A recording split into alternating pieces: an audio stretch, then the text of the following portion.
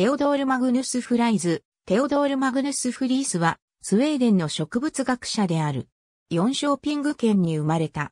父親は特に菌類、地類の権威となった植物学者のエリーアス・フリースである。ウプサラ大学で植物学を学び、1857年に博士号を得た。スウェーデンや極地のフィールドワークを行った。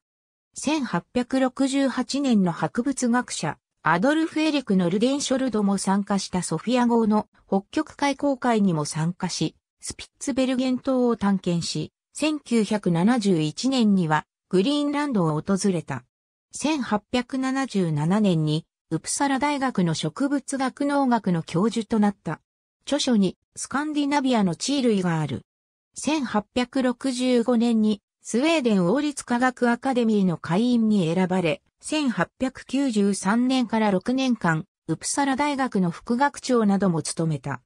息子のトーラー・クリスチャン、エリアス・フライズ、1886-1930とロバート・エリアス・フライズ、1876から1966も地衣類学者、菌類学者となり、孫のニルス・トルステン・エリアス・フライズ。ありがとうございます。